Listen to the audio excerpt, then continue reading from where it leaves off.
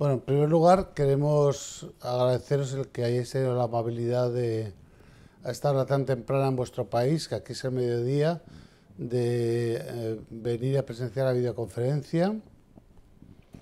Mm, os quiero transmitir eh, la bienvenida desde la Clínica Universidad de Navarra. En primer lugar eso. En segundo lugar, mm, transportaros la, una, eh, idea, una noticia triste que fue el 19 del mes pasado. Nuestro querido doctor Cañadel falleció eh, como eh, tiene mucho sentido que os lo cuente porque por los, que no sabéis ha sido un poco el padre de todo el programa de tratamiento de sarcomas y tumores óseos en el ámbito de nuestra universidad. Tenemos un cariño especial, muchos de vosotros seguro que lo conocéis porque fue un, gran eh, amante de todo Centroamérica Sudamérica, visitó todos los países en, en numerosas ocasiones en tercer lugar, mm, saludar a los que ya nos conocemos, como el doctor Antillón, el doctor Quintana de Chile, etcétera. Aprovecho para transmitir nuestras condolencias a los chilenos, por los quienes nos estén oyendo. Tenemos noticias de ese tremendo terremoto, espero que no os haya afectado ni a vosotros ni a vuestras familias. Y finalmente, deciros que vamos a hacer una presentación sencilla del programa de sarcoma, es un poco por sarcoma, especialmente este sarcoma, teneros al día de lo que estamos haciendo y ponernos a vuestra disposición por si de alguna forma podemos entrar en contacto de colaborar con algún paciente, etcétera. Esa sería la idea fundamental de la videoconferencia. Bajo ningún concepto estamos en la idea que os vamos a enseñar, sois todos profesionales con una larga trayectoria, simplemente os queremos mostrar nuestra experiencia. Bien. Por eso, he recogido un poco los datos de los últimos 25 años de trabajo aquí en el ambiente de la Universidad de Navarra. Eh, durante este periodo de tiempo, eh, al ser tan dilatado, pues hay, claro, no es lo mismo que, no podríamos decir que es una puesta a punto, sino una revisión. El programa de sarcomas tenemos recogidos en conjunto de sarcomas muestras de aproximadamente unos 750 pacientes, de los cuales mm, más o menos 400 se corresponden con nuestros sarcomas. Si bien es verdad que un 50% de ellos eh, no los considero como evaluables para datos, en el sentido de que son segundas opiniones, eh, consultas a veces un poco a la simplemente consultas que nos haya algún tipo de material anatomopatológico que nos ha permitido guardar cierta información o tener material biológico que nos ha permitido meternos en algunos análisis. Pero en general la situación la tenemos como evaluables aproximadamente eh, unos 200, eh, de los cuales nos lleva a una supervivencia global cercana al 80% y una supervivencia libre de enfermedad del 70% que consideramos que es muy eh, interesante. Respecto a las fases iniciales del programa, lo que hace referencia a técnicas de diagnóstico, eh, estadiaje, etcétera, no voy a insistir. Simplemente os voy a decir que permanecemos instalados en la heterodoxia, en el sentido de que no damos mucha, no damos mucha importancia a los clásicos esquemas de Enneking que os he puesto aquí en la diapositiva a la hora de decidir el tratamiento a seguir, sino solo en casos en que realmente la situación inicial sea de tipo catastrófico, es decir, anulación o destrucción completa del paquete vascular o del paquete nervioso, sino independientemente del volumen tumoral inicial, de la existencia o no de una fractura patológica, de, de los distintos efectos adversos que te puedes encontrar el primer día con el paciente, los introducimos en el programa de tratamiento. Ya iréis viendo algún ejemplo. Eh, pasamos a lo que es el tratamiento en sí mismo. Aquí habría que, hacer una salvedad. El tratamiento de los osteosarcomas, sarcomas en general, se basa en un equipo eh, conexo, mm, cerrado como una piña, en el cual hay que colaborar tanto patólogos, cirujanos, clínicos como personal de investigación si no es imposible. Lo que no es el tratamiento, como muy bien sabéis, es una receta como quien aplica una receta de cocina.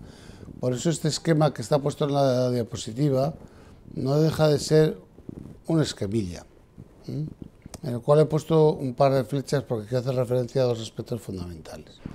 Como veis, utilizamos un esquema muy clásico desde la época inicial de los tratamientos del Sloan Kettering de Rosser y compañía, en el que se combina cisplatino o derivados del platino con adriamicina, cirugía y luego altas dosis de metotrexate y nuevamente derivados del platino de adriamicina o metotrexate con alquilantes tipo ciclofosfamida o ifosfamida. Como son muchos años, algunas cosas han ido cambiando. Los hechos diferenciales importantes de nuestro programa es que inicialmente en el preoperatorio seguimos manteniendo el abordaje intraarterial, que ya lo iniciamos en los años 80, que lo he señalado ahí con esa flecha larga más delgadita en el número 1. Eh, la de la medicina se intravenosa son tres ciclos que se hacen preoperatorios, luego viene la cirugía, el doctor San Julián eh, actualmente es el cirujano encargado de todo el programa, nos va a explicar un poquito esos aspectos. Creo que es muy importante, que la cirugía es clave en la consecución del éxito en el tratamiento y luego el posoperatorio, pues es un posoperatorio muy clásico, con una, ir alternado tanto los ciclos de altas dosis de metotrexate con platino y adria o altas dosis de metotrexate con ciclofosfamida o ifosfamida. Últimamente utilizamos más la ifosfamida, sabéis que es un medicamento que se ha incorporado posteriormente. Actinomicina D que viene a compensar las dosis tope de y vincristina.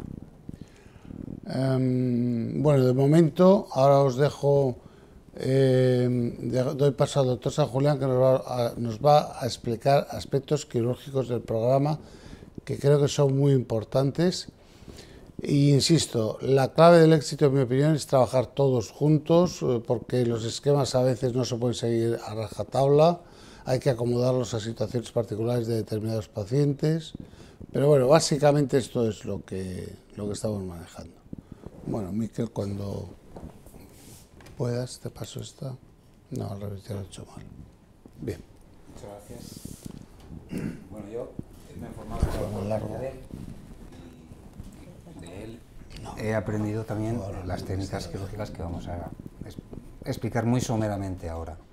En el tratamiento de, estas, de estos sarcomas, como comentaba el doctor Sierra, es muy importante el equipo multidisciplinar. La cirugía sin la quimioterapia en los sarcomas óseos o sin la radioterapia en los de partes blandas tiene muy pocas posibilidades de éxito. Un francotirador aquí no tiene mucho que hacer. hace muchos años eh, estos sarcomas se trataban mediante amputación y además no sobrevivían.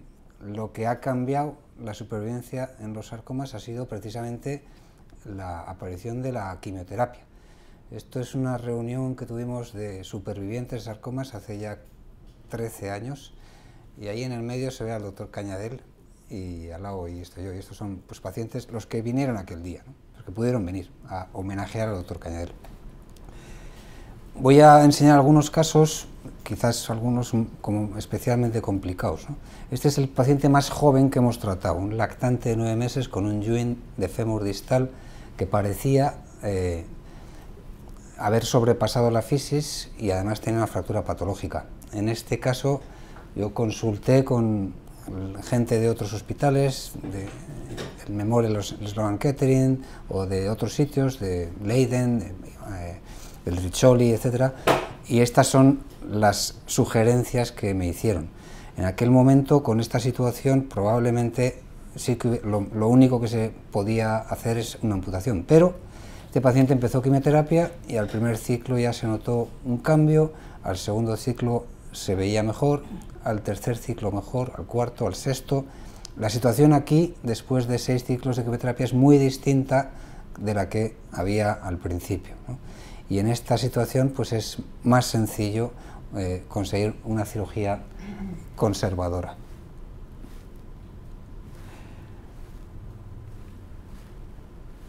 Bueno, y esta es la resonancia antes, la resonancia después, tras varios ciclos de eh, quimioterapia. En este caso, para la reconstrucción empleamos tibia y peroné ipsilateral y aquí veis la evolución, cómo va creciendo el hueso y cómo se va reconstruyendo también la zona donante. y en el último control, bueno, esto es hace unos años, veis como la paciente hacía una vida absolutamente normal, saltando la comba, y bueno, ha hecho una vida absolutamente normal. Habiendo tenido un Ewing de fémur distal eh, a los nueve meses, que unos años después esté perfectamente bien, pues algunas veces algunos compañeros me han dicho, es que ahí habéis tenido mucha suerte. Y yo he contestado, es verdad, hemos tenido mucha suerte de tener un oncólogo como doctor Sierra Sasúmaga, un equipo multidisciplinar que, que ha conseguido pues, que el tumor respondiera también al tratamiento, porque si no, una cirugía, aunque le hubiéramos amputado la pierna, si no responde a la quimioterapia, esta paciente se hubiera muerto igual. La cirugía consiste en dos pasos, primero la resección, después la reconstrucción, y en la resección es muy importante poder quitar todo lo que se ve, incluyendo también el trayecto de la cicatriz de la biopsia. Hay dos tipos de eh, resecciones y de reconstrucciones, las diafisarias y las articulares. Las diafisarias son más sencillas y más duraderas, las articulares son más complicadas. El doctor Cañadel inventó una técnica ya en los años 80 para conseguir conservar la extremidad y conservar también la articulación cercana al tumor. Sabéis que la mayoría de los sarcomas óseos son, se localizan en la metáfisis y por lo tanto cercanos a un cartílago de crecimiento. Mediante esta técnica que consiste en provocar una epifisiolisis en, el cartílago de crecimiento cercano al tumor se puede conservar la articulación, se puede conservar además gran parte del cartílago de crecimiento que se queda pegado a la epífisis, los, la cápsula, los ligamentos, etc. Tiene sus indicaciones y sus contraindicaciones. Quería aquí poneros un par de ejemplos. Estos son dos pacientes que están yendo a los campos deportivos de la Universidad de Navarra a jugar un partido de frontenis el frontenis es un deporte de aquí del norte de este país, también se juega en, Sudamérica y en otros países. ¿Cuál de los dos tuvo un osteosarcoma hace más de 20 años? Es, es difícil decirlo viendo cómo eh, corren, cómo van para un lado y para otro. El, el frontenis exige no solamente movimientos de la mano con la raqueta, sino también carreras, giros, etc. ¿no? Bueno, pues los dos habían tenido un osteosarcoma. Este lo tenía en la tibia, o lo tuvo en la tibia, y fue tratado con un injerto intercalar. Y veis el resultado 20 años después. Y el otro, pues también tuvo un osteosarcoma en el fémur distal y fue tratado con esa técnica del doctor Cañadel, la distracción fisaria, la epifisiolisis, en el año 85. Todavía se ven las marcas de los pines del fijador externo que llevó.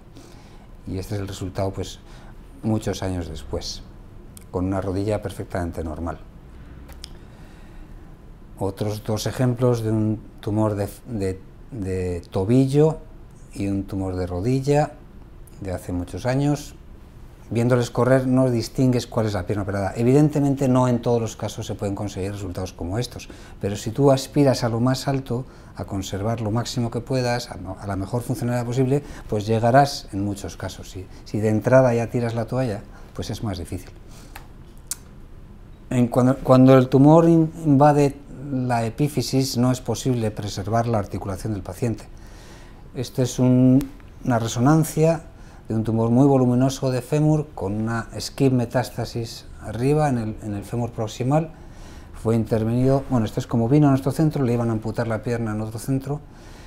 Tenía este voluminoso osteosarcoma de la tibia, pero con la quimioterapia fue mejorando, se fue reduciendo hasta que venía postrado en cama, luego ya podía andar y pudimos operarle, sacarle pues prácticamente todo el fémur y reconstruir la extremidad con una eh, prótesis enfundada en un injerto.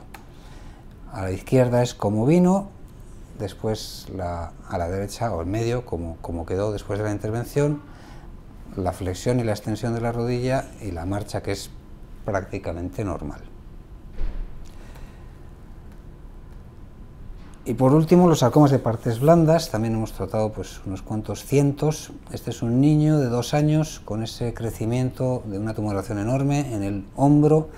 En otro hospital le aconsejaron la desarticulación del miembro superior, que esto es, pues como decía el doctor Cañadel, dejarle como un pez, ¿no? del cuello prácticamente pasa directamente al torso. Esto es un adobe, un Photoshop, no es, no es real. Nosotros no, eh, como hemos dicho, ha comentado antes el doctor Sierra, en principio de entrada procuramos no amputar a nadie. A este paciente hicimos una resección del tumor, la colocación de unos cables para realizar braquiterapia. Este es el tumor, este es el niño recién operado, con, sus cables, a través de los cuales recibió la braquiterapia, que es menos dañina para los tejidos sanos y más concentrada la radiación, y esto es el resultado funcional unos años después. Y paso la palabra otra vez al doctor Sierra. Bueno, quería hacer algún comentario, como bien conocemos como profesionales, el tema de los osteosarcoma a lo largo de estos años, estamos hablando de muchos años, hemos eh, barajado factores pronósticos muy diversos. Quería analizar lo que a nuestro juicio ha quedado bastante reducido en, en los dos sentidos. Unos que la mayoría de la comunidad científica, como pasa con la histopatología, no tiene tan en cuenta y a nosotros lo vemos concretamente, estoy hablando dentro de la subclasificación. El tipo condroblástico, en la mayoría de las series lo interpretan como del mismo riesgo y es nosotros con lo que estamos haciendo probablemente eh, debido al alto nivel de, de, casos en los que se conserva la extremidad mm, es el que identificamos como de peor pronóstico debido a que el tejido condroblástico es muy poco vascularizado y prácticamente no se entera de la administración de la quimioterapia respecto a los aspectos histopatológicos de altos grados, bajos grados, del resto estamos totalmente en la misma línea. El condroblástico siempre se nos va quedando por temas recibas tardías según pasa el tiempo y nos obliga a rescates quirúrgicos de pulmón y otras localizaciones. La existencia de metástasis inicialmente marcaba unas diferencias tremendas. Afortunadamente, em, las mejoras habidas a lo largo de los últimos 30 años en cirugía torácica está revertiendo un poco, esto no del todo, pero bastante, este, esto en dos sentidos. Uno, casi el 60% de los pacientes con metástasis pulmonares, si se anda, eh, si estamos despiertos desde el principio, en cuanto aparecen pequeñas lesiones, las quitamos, conseguimos repescarlos y como veis en la curva, a partir de los tres años hacen un plató, es decir, tienden a desaparecer, ya no siguen saliendo, aunque es verdad que tenemos un caso de una paciente que llegó a operarse así como 12 veces, no hay que tirar la toalla ni tampoco hay que dejarse apabullar por el número de metástasis. A lo largo, el Kaplan-Meier tiene que igualar los de menos de 5 con los de más de 5. Es más importante el criterio de si se pueden quitar o no se pueden quitar. Si se pueden quitar del número hay que olvidarse. Pues he quitado 20, pues bendito sea Dios, 20. Ya está, no quiere decir nada más que la cifra en sí. Ahora, ¿has quitado todas? Al cirujano todas. He quitado todas, ya está. Eso es lo que hay que hacer. Respecto al tamaño tumoral sigue existiendo diferencias, pero bueno, esto siempre corre a favor de que tenemos que andar muy diligentes a la hora de diagnosticar la enfermedad. Cuanto antes se diagnostica, más pequeño es el tumor.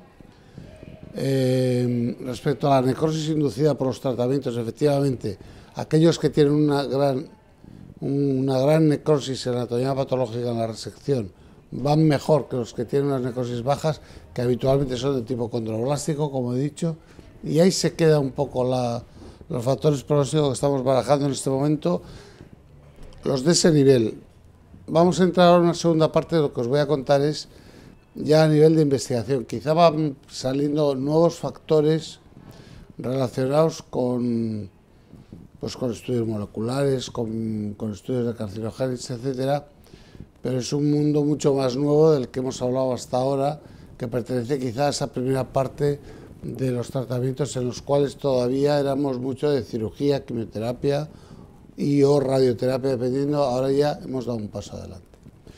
Y os voy a contar lo que en los últimos 20-25 años hemos trabajado en líneas de investigación básica, en gran parte eh, siguiendo las directrices de la doctora Patiño que está con nosotros, que al final nos contará las líneas de futuro.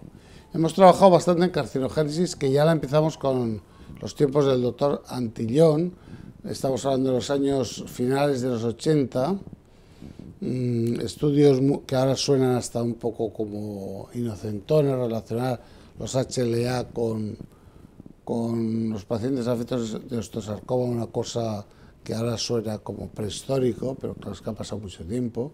Ya se vio que se podía eh, claramente establecer unas ciertas líneas de paralelismo entre características genéticas y desarrollo de tumores.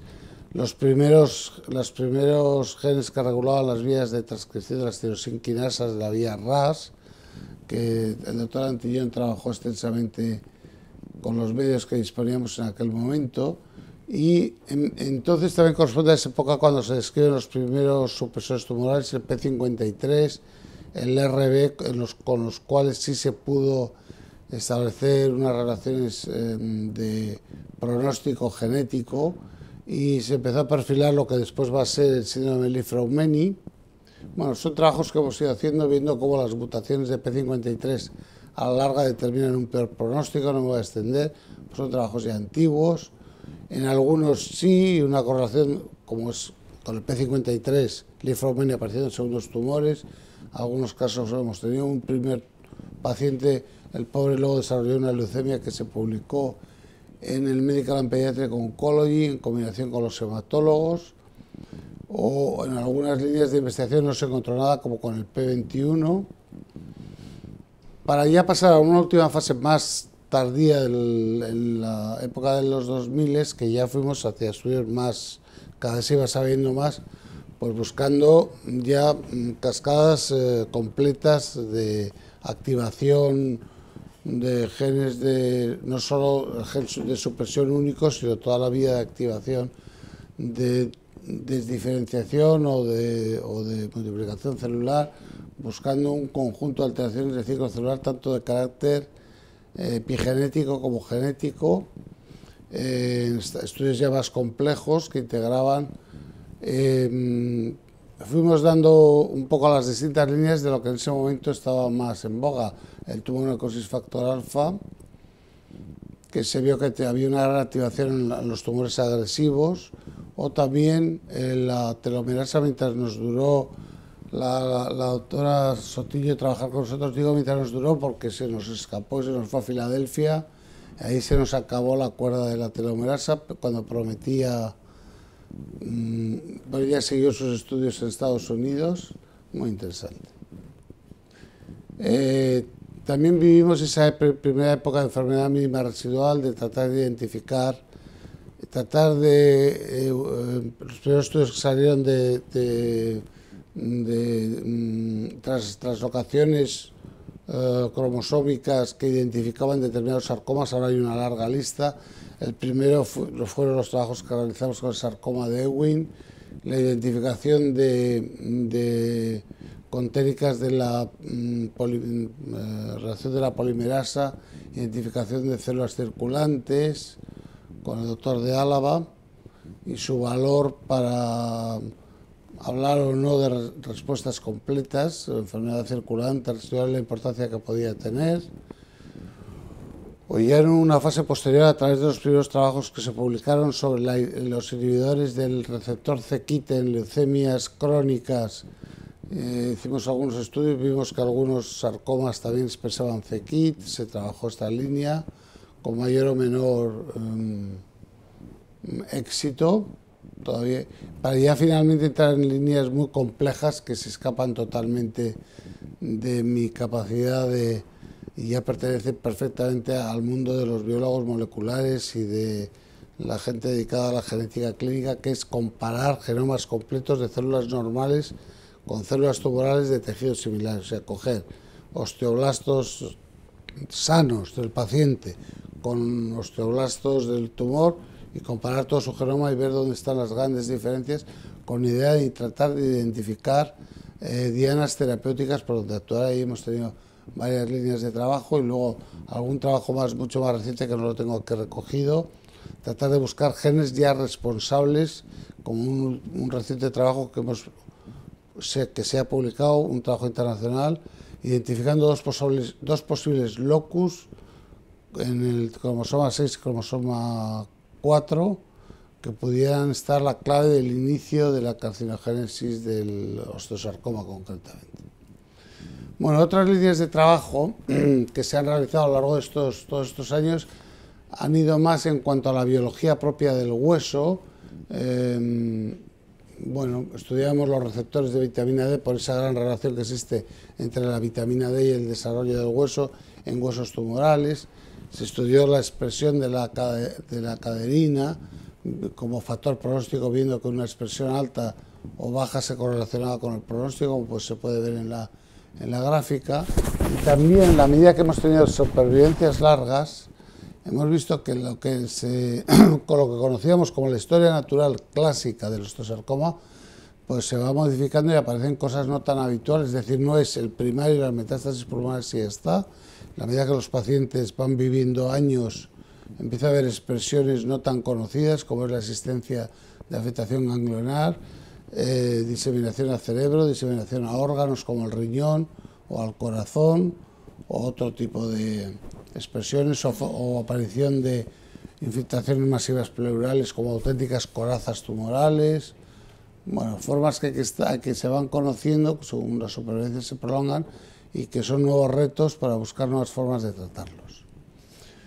Durante estos años también hemos ido publicando nuestras series, pues la experiencia ya os he mostrado antes sobre las metástasis pulmonares, se han mejorado de forma espectacular, pasando ya a un 60% así de, de, controles de media de pacientes afectos que sobreviven a la existencia de enfermedad metastásica, cosa que inicialmente en los años finales de los 80 eran pacientes que si el diagnóstico tenía metástasis pulmonares no superaba el 20% de supervivencia a largo plazo. Eh, metástasis óseas que son de aparición tardía o muy temprana, los metacrónicos, muy rara, pero algunos también hemos conseguido salir adelante, siendo muy agresivos en los abordajes terapéuticos. Finalmente hemos colaborado, debido a que al prolongarse las, las supervivencias, la biología, se está reescribiendo la biología, la historia natural de la enfermedad, al someter a los pacientes a tratamientos hemos colaborado con un estudio multinacional sobre nuevos factores pronósticos se publicó ya hace cinco años en el European Union of Cancer y, también se está estudiando el por qué unos pacientes van bien con un medicamento y otros no, en base a los polimorfismos de metabolismo de los medicamentos, tanto del metotrexate, que como sabéis es muy complejo su, su metabolismo, como de otros medicamentos, saldrá más adelante, como del cisplatino eh, en, o cisplatina, se puede estudiar otros, es decir, estudiar las enzimas eh, que regulan los mecanismos de reparación del DNA, cómo variaciones en esas enzimas naturales hacen que las respuestas a los medicamentos puedan ser distintos y orientarnos sobre cómo tendríamos que tratar mejor a los pacientes. También hemos trabajado, quizá haya que trabajar un poco más en el aspecto de la quimioterapia interarterial. Es cierto que existen estudios realizados fundamentalmente por los grupos alemanes que no le veían ventaja. Somos de la teoría de que se incrementa, con la interarterial se incrementa, se facilita la acción del cirujano, le permite moverse mucho mejor en el acto quirúrgico, delimita la enfermedad, consigue altos niveles de necrosis, evita las recidivas locales, pero también es verdad que hace falta tener una persona, un radiólogo intervencionista muy especial, porque estos no son técnicas que con que todo el mundo las hace igual, hay que ser muy habilidoso para hacerlo bien. ¿no? En ese sentido hemos tenido mucha suerte de tener al doctor Bilbao, tiene varias publicaciones súper interesantes sobre la forma de hacerlo y también hemos estudiado a lo largo de estos años otro tipo de efectos secundarios no tan descritos. Estaba muy descrito, al ser niños lo que tratamos, muy descrita la acción de la radioterapia sobre la hormona de crecimiento. Hemos demostrado que también la quimioterapia es capaz de inhibir la hormona de crecimiento, que hay que tenerlo en cuenta y que, hay que, y que hay que suplementar a veces a los pacientes con hormona de crecimiento, que se altera la, densidad mineral ósea, que también se favorece posteriormente fracturas y complicaciones, también es algo importante, la mineralización con grados de, de calcificación muy importantes y osteopenias. Cuidar a los pacientes durante el tratamiento su, su nutrición, hemos hecho varios estudios con acetato de megestrol, las anemias inducidas por los tratamientos mm, con eritropoyetina. Hay, aunque esto ahora está un poco controvertido a raíz de un último trabajo salió en el New England en pacientes afectos de carcinomas, parece que favorecía las recidivas, no tuvimos, hemos tenido la suerte de no encontrar ese efecto secundario. Bueno, y distintos otros aspectos. hay bastante trabajo en, aquí en, el ámbito de la universidad con el metotrexate por el gran interés que, que tomaron el departamento de farmacocinética sobre la forma óptima de utilizarlo, tener en cuenta que empezamos a utilizar las altas dosis de metotrexate cuando había muy poca experiencia y hemos conseguido prácticamente utilizarlo mm, con poquísimos efectos secundarios, con poquísima toxicidad, gracias a que se lleva un programa de, seguimiento, una vez que se pone el medicamento, nos alertan con mucha rapidez si la eliminación está siendo la adecuada y ahora es rarísimo encontrar una toxicidad por o intoxicación por metotrexate. El hecho de que en el programa de tratamiento hayamos disminuido la doble dosis de altas dosis de metotrexate, no solo dosis, precisamente porque en fases muy iniciales ya nos dimos cuenta de que las combinaciones con platino dificultaban la eliminación del medicamento, sin embargo no se ha trasladado a una, en una repercusión de menor grado de control de enfermedad. Y bueno, estos son trabajos relacionados con el e interferencias. Y esto es lo que os decía de estudios comparativos sobre polimorfismos de enzimas que actúan sobre la reparación del DNA. Eh, se han hecho un par de estudios bastante extensos y se han publicado muy bien. Eh, pero todavía es una fase de, aplicación de las farmacodinámica y farmacocinética a la aplicación que todavía no tiene una traducción en cuanto a modificación de medicamento. Mm, bueno, son trabajos generales sobre mm, tanto las conservaciones de extremidades sin el índice de recidiva local es muy baja y el índice de funcionalidad es muy alto estábamos satisfechos y luego ya como últimas modalidades terapéuticas, durante una temporada estuvimos trabajando con la radioterapia intraoperatoria, em, mm, encabezada por el doctor Felipe Calvo, y en la actualidad lo que estamos trabajando es, digamos, es como una pequeña modificación de la intraoperatoria, que es la braquiterapia, es la nueva modalidad que tenemos a los radioterapeutas. Estamos muy contentos porque ha disminuido de forma espectacular la toxicidad. Evitamos técnicas de radiación externa. En nuestro sarcoma, como sabéis, no es eh, la entidad de los sarcomas que más lo necesita, la radioterapia, pero sí en el resto de los sarcomas. Y nos está funcionando francamente bien. Con una, son tratamientos que se hacen muy rápidos, la toxicidad es muy baja. Y ya finalmente voy a pasar la palabra a la doctora Patiño que os voy a exponer muy brevemente los tres grandes proyectos de futuro que tenemos para intentar dar ese asalto final a ese 20% de pacientes que se nos escapan a pesar de, de, pues, los tratamientos que os hemos ido comentando. ¿Qué tal? Pues yo les voy a contar, el doctor Sierra Sumaga ya ha dado una pasada sobre lo que ha sido la investigación de nuestra unidad de investigación básica de la que yo me encargo más o menos desde 1995. Entonces, por decirlo de alguna manera, hemos pasado unos 10 años, del 95 al 2005, pasamos de pescar genes con caña a pescarlos con red y eso supuso una ventaja brutal que significaba que por cada ensayo no tenías un error porque como el ensayo directamente iba a ver el estudio del genoma completo, como ha dicho el doctor Sierra, nos hemos encontrado eh, pues con muchísimos éxitos genéticos, ¿no? hemos sido capaces de desentrañar las vías eh, que eh, en cuya base está la carcinogénesis del osteoblasto, la respuesta a la quimioterapia convencional, el hecho de que unos pacientes hagan quimioresistencia sin explicar el hecho de que unos pacientes sean metastásicos y otros no lo sean nunca, eh, ese tipo de cosas las conocemos mucho mejor en la actualidad gracias a los estudios genéticos y hemos sido capaces de desentrañar gran parte del desconocimiento de esta enfermedad tan heterogénea. Eso nos ha llevado en los últimos años a una situación de absoluta excelencia en la investigación en este tipo de tumores en nuestro centro, y yo les voy a presentar de una manera absolutamente breve, en cuatro diapositivas, tres proyectos que tenemos abiertos, que no son otra cosa que los proyectos que para nosotros son más importantes en este momento de las líneas de colaboración que tenemos abiertas, y dos de ellos están formulados o lo van a estar inmediatamente en forma de ensayos clínicos, eh, en los que invitamos a todo el mundo a reclutar pacientes. Eh, el primero, como ven ahí, es un uso de células dendríticas eh, para tratar tumores avanzados de niños o adolescentes o individuos jóvenes con sarcomas y tumores sólidos en general. Está siendo en este momento regulado como ensayo clínico. Esto se basa en que hace muchísimo tiempo que sabemos que las células dendríticas son un tipo de células del sistema inmune que son las directoras de la orquesta de la respuesta inmune.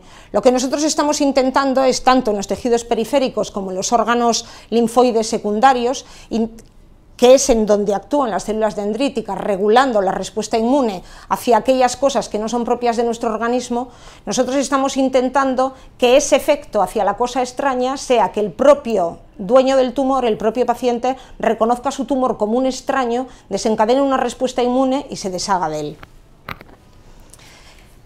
Para ello lo que estamos haciendo es básicamente, hoy mismo vengo a dar esta sesión de vacunar a nuestro segundo paciente que ha sido, aunque no tenemos el ensayo, ya estamos utilizando mediante uso compasivo esta técnica, venimos de vacunar ahora mismo a nuestro segundo paciente. Básicamente, si ustedes ven a ese hombrecillo de ahí, en la parte 1, que pone biopsia tumoral, lo que hacemos es bajar a quirófano, bien con el doctor San Julián o bien con el cirujano torácico, y obtenemos un trocito de muestra tumoral. De esa muestra, si siguen la flecha, lo que hacemos es básicamente pasarla por una trituradora y obtener un lisado de células, que son todas tumorales, y en las que se están exponiendo al exterior tanto los antígenos internos como los externos de la célula, que hacen a esa célula ser una célula diferente de la célula normal del paciente, y es hacia lo que queremos desencadenar la respuesta inmune en el punto 2, como ven, cuando ya el paciente está recuperado de la cirugía, le hacemos una leucoféresis ¿eh? por dos vías, por una vía le sacamos la sangre, toda esa sangre va pasando por un filtro ¿eh? que retiene aquellas células que luego van a ser susceptibles de ser desarrolladas en el laboratorio, en nuestro laboratorio GMP de calidad de producción para producción humana.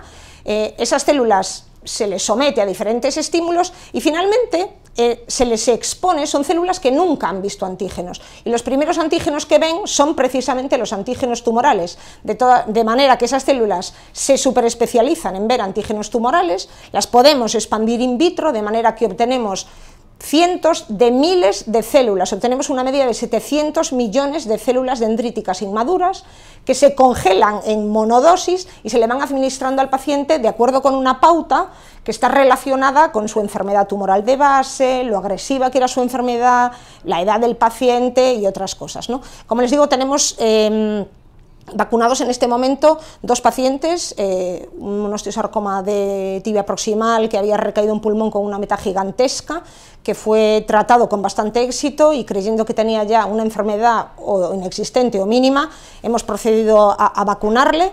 Y otro paciente, que es un paciente joven de 16 años, que ha tenido un osteosarcoma eh, con muchísimas complicaciones, hizo una tuberculosis, bueno, muchísimas complicaciones, que ha sido operado hasta cinco, en cinco veces del pulmón, y para darle un poco más de apoyo pues le estamos vacunando y esperamos tener muchísimo éxito y el inicio de un ensayo.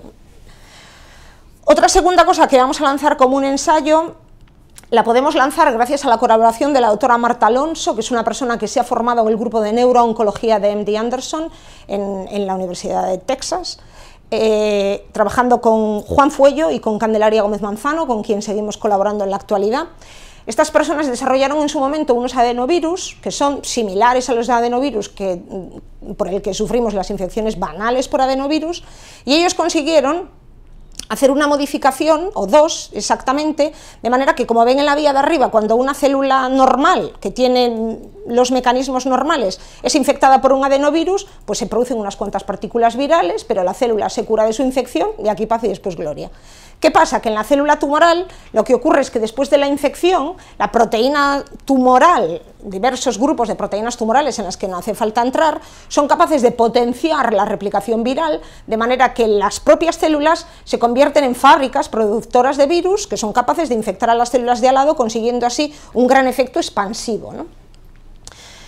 Hemos utilizado dos de estos adenovirus, hemos trabajado con Delta 24 RGD y con un adenovirus que se llama ICOVIR 17K, y estos adenovirus lo que hemos conseguido ha sido demostrar, hemos hecho muchísimo trabajo in vitro en el laboratorio demostrando que estos adenovirus son capaces de infectar nuestras células de osteosarcoma, son capaces de una vez que están dentro producir viriones eliminando a las células tumorales. Y ahora ya estamos en un momento de, preclínico absolutamente en que ya hemos acabado los experimentos animales en los que hemos tratado, tenemos ratones que son atímicos desnudos, como ven en la parte superior los pasamos por PET y vemos que en aquellos pacientes en que con líneas tumorales hemos desarrollado tumores, hay un gran crecimiento tumoral que incluso invade y atraviesa el periósteo de la, de la tibia del animal, En el segundo caso, no sé si se ve muy bien por las limitaciones de, la imagen, pero eh, son eh, la misma, el mismo grupo de animales, pero habiendo sido tratado con nuestro adenovirus, en que se ve en la gráfica que existe una reducción muy significativamente de los tumores, y esa reducción es incluso superior a lo que utilizamos como nuestro modelo estándar de tratamiento, que es la utilización de cisplatino. Es decir, el cisplatino cura, pero el virus cura más, o en nuestras manos cura mejor en el modelo animal. Es por eso que lo queremos llevar a modelo humano, a ensayo clínico. Y por último, una cosilla que nos tiene muy ilusionados, en las que tampoco me voy a meter mucho en la intimidad del proyecto, porque por su propia complejidad está siendo desarrollado con ingenieros, aparte con nuestro grupo, nosotros tenemos la suerte de contar con un grupo de nanotecnología fantástico en nuestra universidad, dirigido por la doctora María Blanco, que es una colaboradora habitual de nuestra investigación.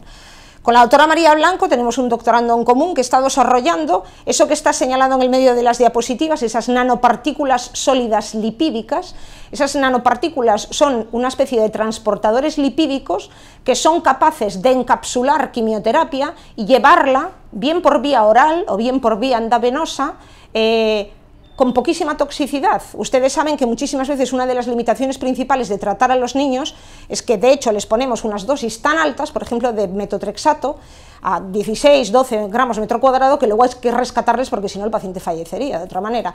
Pues nosotros estamos intentando redosificar la quimioterapia que damos a nuestros pacientes porque la estamos incorporando dentro de nanopartículas que pueden ser soltadas por el organismo del paciente prácticamente sin ninguna toxicidad y con una liberación muchísimo más controlada. Y esto es, en resumen, en lo que estamos metidos en la actualidad y a lo que les invitamos cordialmente a participar.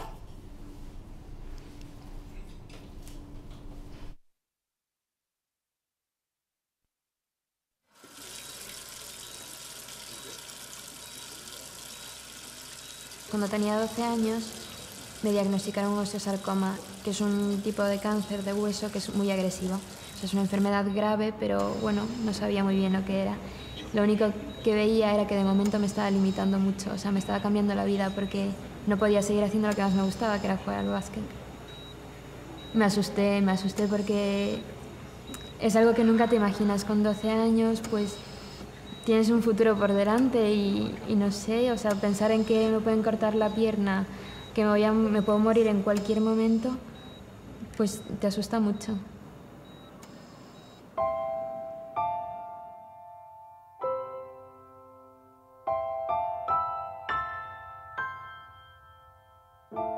A través de unos amigos de mi padre tuvimos referencias de la clínica y empezamos a establecer contacto ya con ellos.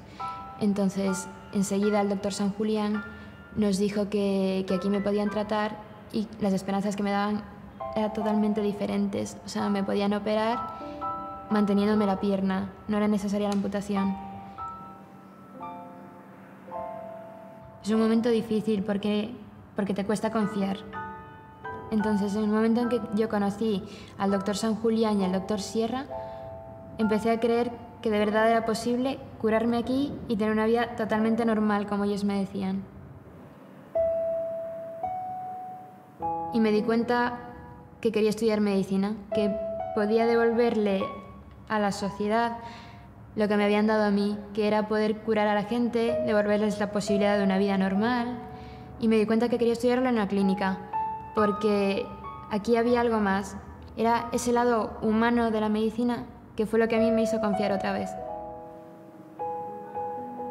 Es un poco extraño porque cuando vine a estudiar medicina me encontré con el doctor San Julián, que es el que me operó. Entonces él me invitó a hacer prácticas con él.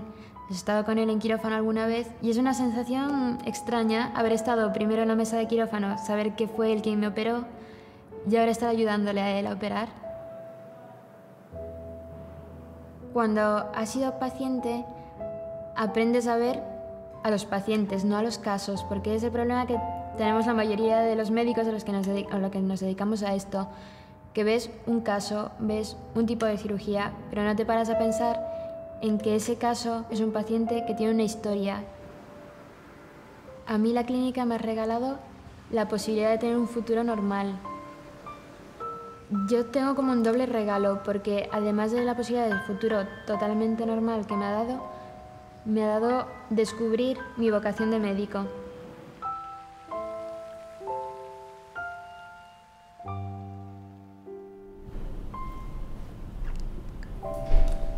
Bueno, pues muchas gracias por, por la atención, que haya sido capaz de aguantar. Tiene mucho mérito. Muchas gracias a los mis compañeros que me han tenido ocasión de, de compartir con ellos esta videoconferencia. Y estamos totalmente abiertos a que preguntar algún aspecto concreto, del tipo que sea. Eh, sí me gustaría resaltar, y eh, no es tanto una pregunta, sino bueno, un comentario que me gustaría que hiciese por recalcar, creo que es fundamental en este programa mmm, que el equipo tiene que estar, tiene que trabajar junto, como si fuese una sola persona. O sea, esto no puedes, ahora me opero, ahora me, me pongo un tratamiento, ahora me radio, ahora voy aquí, ahora voy allí. Tiene, porque no es, no, esto es como lo de las recetas de cocina que tantas veces co comentamos. Los libros de recetas de cocina están llenos de recetas de cómo se hace un buen soufflé, pero luego el soufflé no sube. Y dices, ¿por qué no sube el soufflé? Pues porque hay que saber hacerlo. Pues el tratamiento de los sarcomas, la clave no es tanto un medicamento concreto, que a veces también, si no lo tiene necesario, sino la colaboración entre los distintos eh, componentes del equipo. Es, es, fundamental el crear equipos de trabajo y no solo, no solo ya equipos que contemplen intrahospitalarios, sino mantener una buena relación con compañeros de la especialidad en general, estar muy abiertos. Es por eso que estaremos súper interesados en colaborar con, con, ese mundo tan común para nosotros como es todo el mundo centroamericano, países de Sudamérica, que tenemos tan buenos amigos, que incluso hemos tenido la suerte de, de trabajar con ellos aquí en España, bastantes de ellos muchos, muchos años. Y bueno, es, me gustaría que recalcases, eh, Miquel, un poco este aspecto de lo importante que es trabajar juntos, ¿no? porque es la única forma de que salgan bien los casos. Por los casos, los ves ahora con el vídeo y tal, pero realmente son difíciles y los problemas suelen surgir en, en, el momento que menos lo espera uno, ¿no? Y las pruebas para hacer una buena genética, eh, para que salgan bien hay que coger las muestras el momento que ahora no vengas a por la muestra, pues ahora es cuando hace falta la muestra. Hay que tener muy buena voluntad, ¿no? Eso es fundamental. No sé qué. Bueno, eso está muy claro, ¿no? Si esto, lo hemos comentado antes, un, un francotirador no es capaz de, curar un caso de estos. Hace falta un equipo multidisciplinar de cirujanos, oncólogos, patólogos, radiólogos, oncólogos radioterápicos, etcétera, y que estén todos unidos, que vayamos todos a una, como, como, a, como fuente ovejuna, porque es la única manera. Luego tampoco es una cuestión de meter a todo el mundo en el mismo saco y hacer lo mismo con todos, porque cada caso es distinto. Entonces hay que siempre hablarlo mucho, comentarlo entre nosotros y estamos pues, todo el día así. ¿no?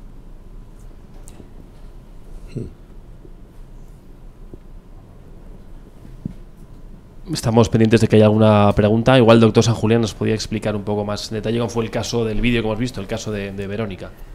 Sí, bueno, el caso de Verónica es un caso muy bonito, pero no es un caso único.